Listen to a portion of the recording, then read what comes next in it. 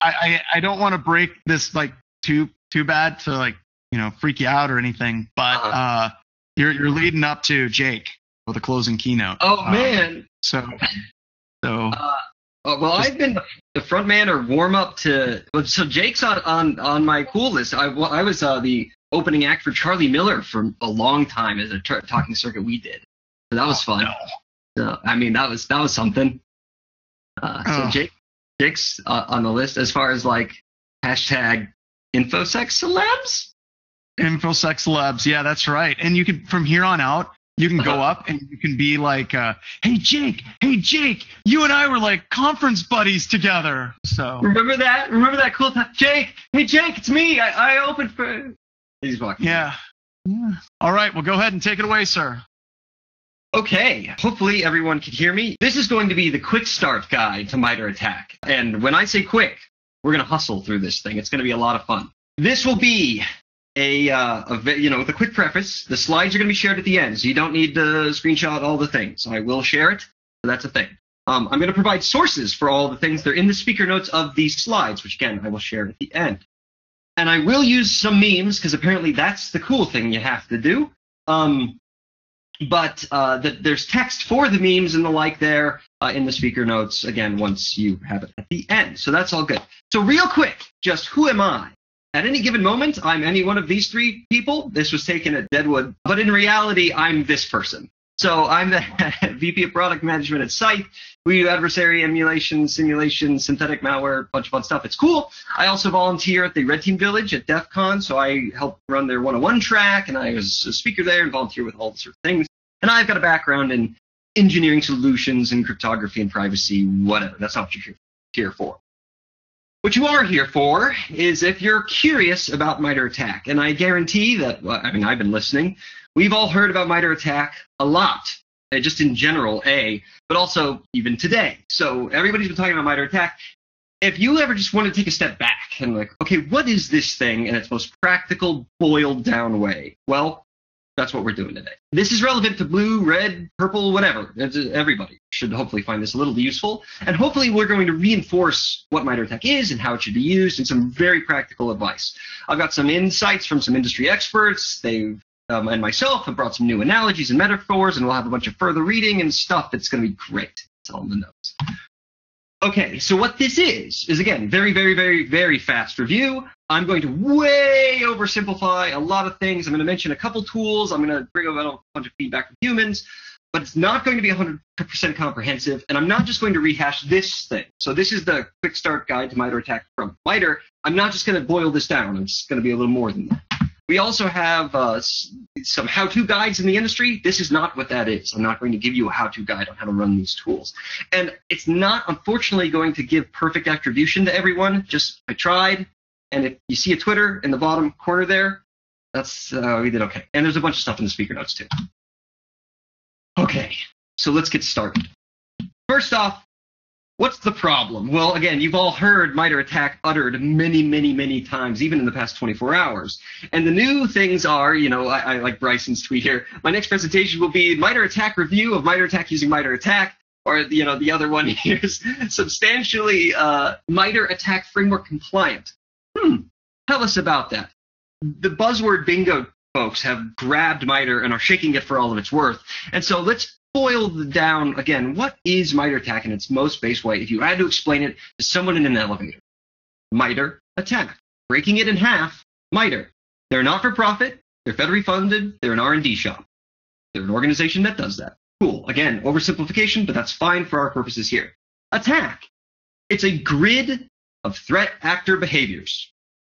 Framework of we call you know TTPs, tactics, techniques, procedures, and they have IDs. So, example, you know, key logging that has a specific ID, just one square in that grid. And for the sake of this conversation, we'll talk about threat actors as adversaries as seen in the cybersecurity industry. So, again, MITRE, an organization, created Attack, which is a framework, a grid of threat actor IDs. Neat. And there's actually quite a few uh, MITRE ATT&CK matrices or uh, matrices. Matrix matrices. I don't. It doesn't matter. There's multiple of these things. There's uh, pre-attack and the mobile and ICS. You don't care. It's the enterprise one you care about, unless you work in you know the ICS industry or something. We're only going to be talking about the enterprise one for the sake of simplicity here. Okay. MITRE ATT&CK.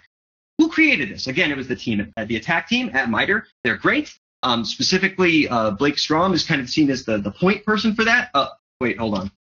No, that's not Blake. Um, that's Blake. There we go. And there's a group of people who are really, you know, uh, drove the innovation of this forward. They're all great. And again, these are all shared in the slides later. So you'll have them. There's, yeah. And there's Blake. To the do's and don'ts. Again, the quick start guide is what this whole thing's about. And we're already four minutes in. Yikes. Number one, when you're talking about the MITRE ATT&CK language, please use it as a common language. And this. Hey, hey, hey, I'm going to tell you, go ahead and slow down. You have until the top of the hour. We're not going to hold you to 15 minutes. Breathe, because you're oh. about to our heads explode. Okay? No, see, this is, was going to be a whole lot of fun if I could do the whole thing without taking a breath. So right. now- If you've got to do it twice, that's still okay. Well, thank you. Cool. I was going to cover the whole thing, but now I can ta slow down a little bit.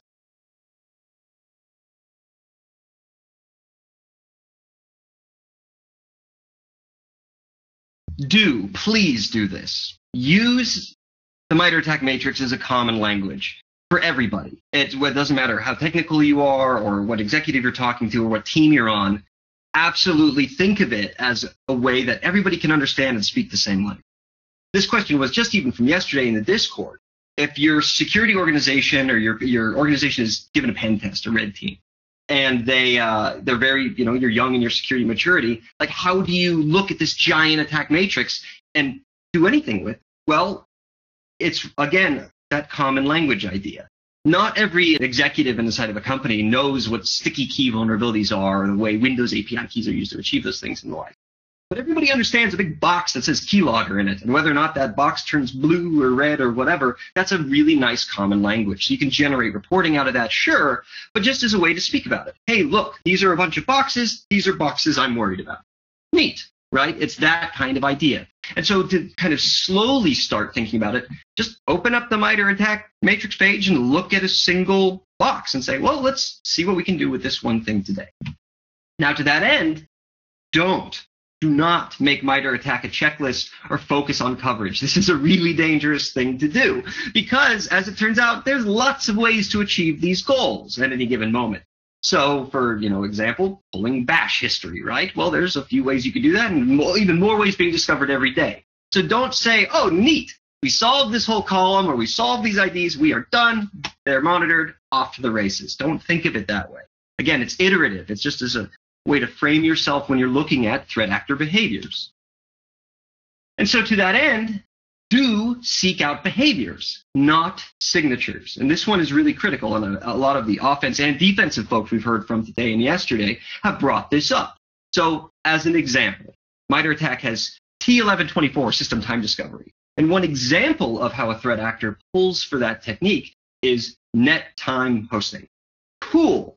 But don't just log and signature for that and say T1124, solve. That's not the right way to think about it because if a given APT uses that in V1, well, that's all good. But if all of a sudden V2 of their malware comes out and they're using PowerShell get date, you now have a, that kind of broken signature. And so again, it's about the threat actor behaviors and putting yourselves in that mindset, both as an adversary and as a defender.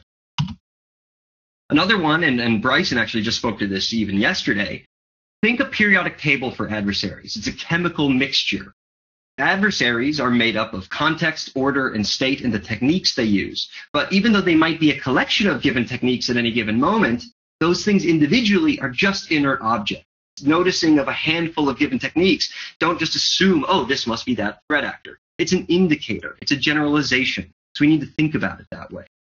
So to that end, we should use these examples as a foundation. One example uh, of a way to do that is using tools. If you want to test for adversarial behavior, Caldera by MITRE, it's a great open source project. that creates agents, it fires operations. It's all excellent, right, as far as using it goes. Even though the goal might be to make your validation of given techniques trivial, right? To look for specific behaviors and to run them in a certain order and the like there. And even though we get the ability to use these command playbooks as a baseline for our defenses and look for those kinds of specific techniques and commands, you can't lock yourself into, oh, well, I deployed this threat actor in this tool, and therefore I now have an understanding of that threat actor. Because we can't assume that these TTPs always equal those threat actors. Threats are nuanced. We all know that. And they're really tricky to replicate with tooling, whether it's custom made or one out of the box. And so falling into that false sense of security can be particularly dangerous.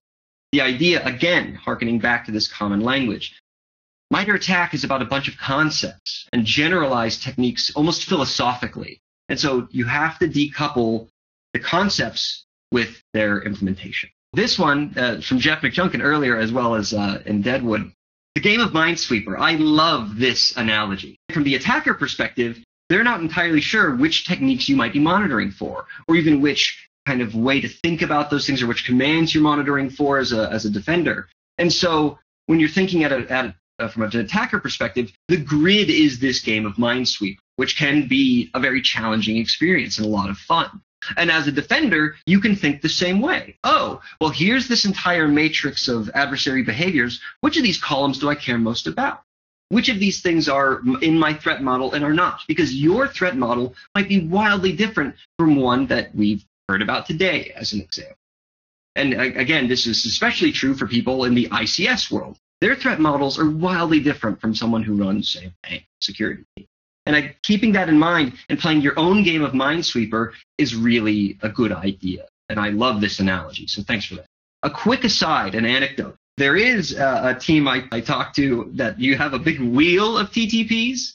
And so this is a really exciting way for, if you're running an engagement as an example, to go ahead and just stick a bunch of things on that and spin the wheel and say, okay, we're going to do this technique today. So anyway, you can always challenge yourself and think about it that way. But apparently these wheels are really expensive on Amazon. Anyway, the next thing that I do not recommend you do is copy, paste, enter. Now, I'm going to preface the upcoming slide with the statement of, here's some things that I really love and I think that are amazing. I think Red Canary is an amazing team. I think Atomic Red Team is an awesome open source framework. And again, you all can look into this later. There's notes in the slides. I think practical examples of adversary behavior is super important.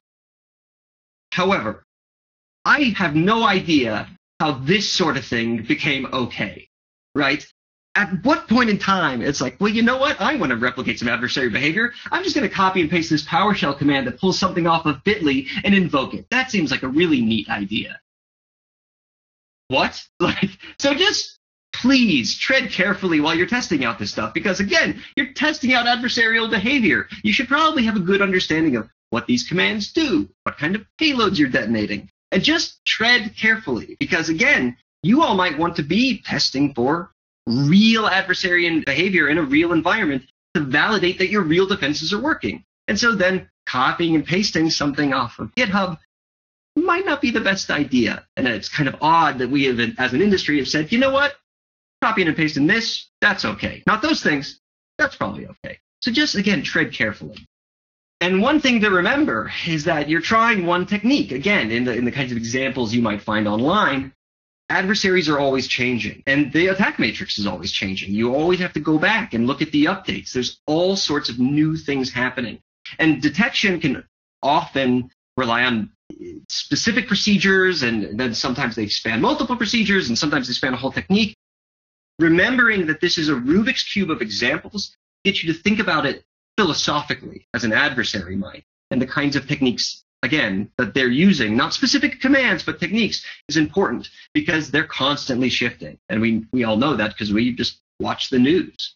Okay, and this is another big one. You all have standards that you have in your wheelhouse, right? You all have different sorts of things, and you might be trying new things out, and you might be, I don't know, NIST five functions or cyber defense matrix just because MITRE ATT&CK is very cool, just because a lot of us are talking about it, just because a lot of vendors are talking about it, and it seems like a really neat thing to do, does not mean it should be your top priority. It's very, very tempting to go with this thing that is very trendy.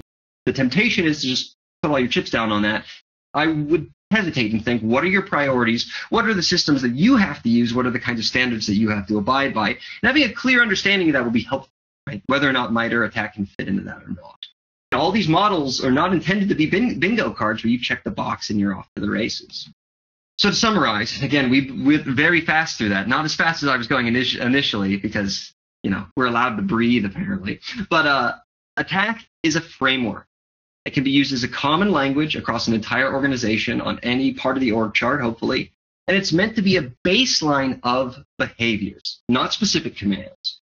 And one thing that I think is important to point out is the MITRE ATT&CK matrix, regardless of your, if you're using tools that align to it, or you know you're using Atomic Red Team, or you're blogging about this, or you're a network defender aligning to it, or you're doing offense aligning to it. It's a great opportunity to get involved because this is something that's growing, has a growing importance to all of us because of that ability for it to be a common language.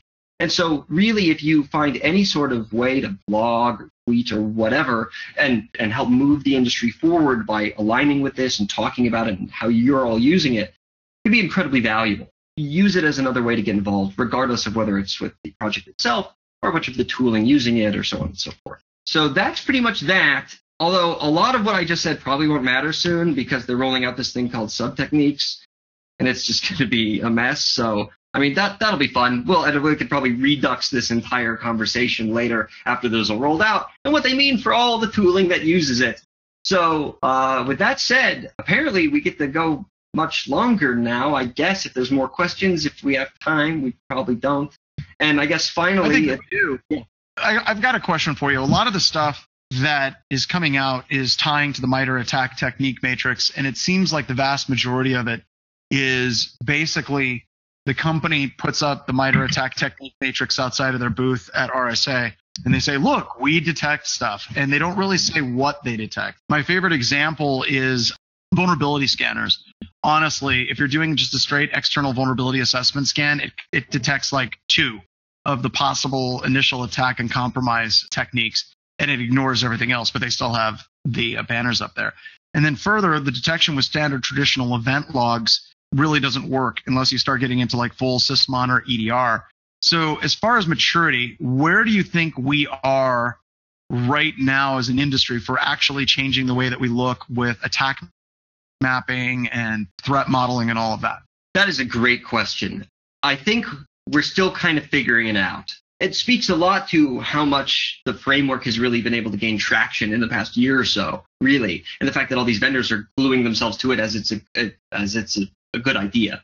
And the nice thing is, is that Yes, right now there's a bunch of scanners that say we aligned a MITRE ATT&CK, and they're like tick tick, and there's two things, or maybe like, hey, we grepped for all the your logs that you had CMD, and therefore look at all the IDs you found. Although that's kind of the wrong way to look at, at it, it's still better that we're dipping our toe into the water in MITRE ATT&CK in those ways, and kind of the, the, even the product perspective, and they're more, it's more meaningful than saying, oh, this is machine learning blockchain silliness, right? It's MITRE ATT&CK is a good thing to align to, even though there's still a little bit of a hair of snake oil in the industry. If even if they begin that way, folks that are using their products could say, hey, you said you aligned to MITRE ATT&CK, these are just a couple of the things that were pulled up. Why not these things, right? And that'll help move the product industry forward and, and get the vendors to actually think about it. So there's a long answer to a short question, John. I don't know if that helps. No, uh, that's fine. And I might have uh, might have a question here with you, kind of bleeding into Bryson's presentation. With your background, you went over it very very quickly here. What is the most difficult thing you think right now um, with trying to do full threat simulation and emulation? Yeah, the the real trick of that right now is the idea that we're pretty comfortable with signatures still, especially seen when you're doing adversary emulation in agent-based context, because usually those agents are put on golden master boxes and they repeat known PCAPs and do that whole show, which is good. Like we should be validating our defenses in that way. We should be making sure the firewalls are firewalling, and we should be making sure network monitors are, are monitoring. But it kind of takes us out of the real world a little bit when we're not actually detonating even benign adversary behavior on a production payload and doing weird exfiltration events on production machines because we, we do need to move beyond this signature based dependency that we've been sitting in for so long and start to think well what is the threat actor actually doing? And how do i move beyond? I can catch anyone a WannaCry or the base as long as it's version one because i know its signature to actually, how do I catch anything that does encryption in a rogue way? And so moving beyond these standard signatures and templates and things we've got into a real live fire environment and saying, hey, I'm going to make some custom malware today, and it's going to create a directory and create a bunch of files, encrypt those files, delete the originals, and then exfiltrate a thing and download a ransom note. If I would notice that behavior, even if it wasn't tied to a real threat actor, that would be very, very cool. If you had to take a guess, just a wild guess, and we'll use MITRE as the baseline because everyone knows that, with all the problems of being locked into just that framework, how much do of the existing pen test methodology do you think can or should be automated? Kind of like vulnerability assessments. Years ago, we had to download tons of scripts and we had to test them one at a time and we had to do banner grabbing and lookups. And then Yeah. Satan and SARA came and made that a lot simpler for us. And everyone was like, well, that's the end of red teaming and pen testing because we have this automatic thing called Nessus now. And it didn't really replace it, but it, it basically pushed the, the state of the art for pen testing a little bit further out. And that was a good thing. So if we were going to say, okay, the amount of work that a traditional red team or a pen tester does, what percentage of that kind of grunt work do you think could be done today with automation frameworks? You know, not picking on any one automation Yeah. framework or anything, but if somebody was going to set out to automate it, how much do you think they could actually automate it today? the majority. Uh, and really, what it boils down to is essentially the vast majority of adversary behavior is all pretty well known. We know what they want to do on a box, and we know how they phone home, generally speaking. And the thing where an operator should take over is lateral movement, generally speaking. And, there, and that one I call out really specifically because lateral movement can be very tricky. right? You have to do credentially things, and you have to look in documents, and you have to make some assumptions. More importantly, the moment you're automatically laterally moving, you open the door to like becoming an auto hacking tool. And auto hacking tools are inherently dangerous, right? And no one wants to open the door to the risk of accidentally knocking over a domain controller, which that is plausible when you have automated lateral movement. So that's kind of where, in my experience, I think people kind of not only do, but need to draw the line, both practically and from an automation perspective because you want to test real scenarios without dramatically increasing the risk to your organization by using automation. You're trying to make your life easier, not harder because you knocked over your domain controller as an example. So Yeah. hopefully that helps. And the kind of the other thing about that is, is I think automating an entire pen test is bad, but man, if they could just automate the same crap that we do every single time, I think that would be fantastic. Flynn Geek has a question. Uh, our GRC team has been very focused with uh, CIS controls. It's been fun and challenging to take on attack alignment. By the way, I do have a spreadsheet, Flynn Geek. Maybe I should just release it. But if you want to shoot me an email, john at blackhillsinfosec.com, I have a spreadsheet where I went through and I mapped as many of the attack controls as I could in one airplane ride from DC to Denver in one sitting to the Center for Internet Security Controls. So if you want that, shoot me an email and I will get that to you. Maybe I'll just load it up somewhere as well and seeing if it actually works. So Jorge talked about and said our team focuses on automating all the stuff that we continually do repeatable and then they can move on and use their brain for new procedures, which mm-hmm. is great. I'm trying to see. Rusty Skills asked, how do we change minds at the next level of InfoSec? Red teaming is great, but it seems not to be complete, able to completely change minds on its own. Ooh, good question. Take it. Yes. Yes. Okay. That one, there's a cheat code for that. And we kind of, as an industry, we kind of accidentally our way into it. And as someone who does products in this industry, I, I, when I figured this out, or when we kind of collectively figured this out, something really cool happened. The cheat code for this is thinking about budgets, right? Okay, so the red team budget is actually this much, and it's actually part of the security team's budget, which is actually part of the IT staff's budget, which is part of like if you think of it that way, it's like, well, they actually get kind of the tiniest sliver. And so how do you expand the importance of the work the red team is doing? You do that by introducing the blue team and the IT staff. And the way we do that is by purple teaming. And so again, like purple teaming was became the new big cool thing. It's collaborative and it's a really good exercise and all that sort of stuff. It's kind of tricky to do if you don't have a red team, for example. But the idea of expanding adversary emulation and expanding things like understanding threat actors and the like to not only just the red team, but the entirety of the IT staff, you've secretly expanded to the entirety of the IT budget. And when the IT budget says we need to focus on threat actors, executive leadership notices because you're talking about real impact to a real organization and showing that collaboratively with you know a blue and red you achieve those goals so talk, thinking about Purple Team as a way to kind of hack your way into bigger budgets and hack your way into more importance and to get executive leadership to think about it is very cool. Either that or you just print out a grid with all the threats you're vulnerable to and show them a bunch of red squares. I guess that could work. Um, it's just a mechanism. It's not necessarily I what I would do, but it's a way that works sometimes. But I think it can work if you're yeah. using it in the perspective of a gap analysis, saying, yeah. these are the specific areas that we're missing, and here's the specific technical controls we can put in place. But you, you talk about the blue side, and there's a lot of times I feel like we're running around trying to put our fingers in the dam where yeah. we could just unilaterally be better at blocking PowerShell and command execution by standard users or enabling host-based firewalls so workstations can't talk to each other. There's yeah. a lot of things we could do, but I think that it only comes from that collaboration. And the only way that we get there is with results and seeing how we can actually make things better rather than red teams, which tend to have a tendency in most companies to show how they can make things worse. And that doesn't seem to help us all. Yeah, see, the only gotcha on the whole showing the big, all the red squares to executives is if you then roll out a bunch of new defensive stuff and the squares stay red for like ever, you've you've introduced danger into your decision making for the future. But again, yeah, I, John, I think that's excellent advice.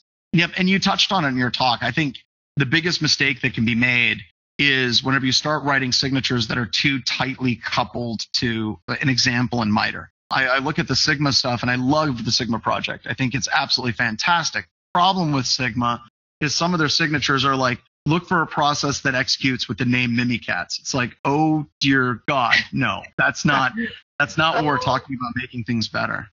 Exactly, and, and that's where you're just like, well, I'm just going to rename it Mimi Dogs. See what happens. Yeah, it's way yep. too effective. the so. advanced set attack as well.